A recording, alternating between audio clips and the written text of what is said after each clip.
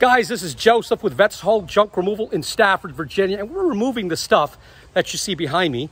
And we consider this a curbside pickup. Whenever the customer puts the items on the curb, on the front porch, or in front of the garage, it makes it much easier for us and we don't have to enter the home. So if you're in Northern Virginia and you have stuff just like this, or maybe you have appliances, mattresses, or any kind of furniture that you just need gone and you want to reclaim your space, reach out to the junk removal company powered by veterans and patriots, Vets Haul Junk Removal in Stafford, Virginia at vetshauljunk.com. And you can call us directly at 540 657 VETS. That's 540 657 8387.